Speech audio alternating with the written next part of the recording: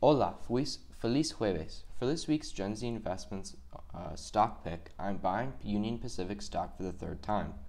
Their stock symbol is UNP, and I have provided a link below to the first time I recommended this stock on October 1st, 2020.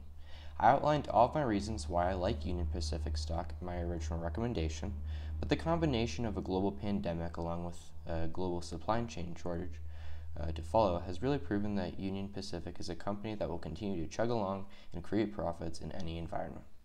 Please subscribe to my YouTube channel for future weekly stock buys and follow me on Instagram at Gen Z Investments. Finally, check out the brand new and improved Gen Z Investments online store at gzistore.com.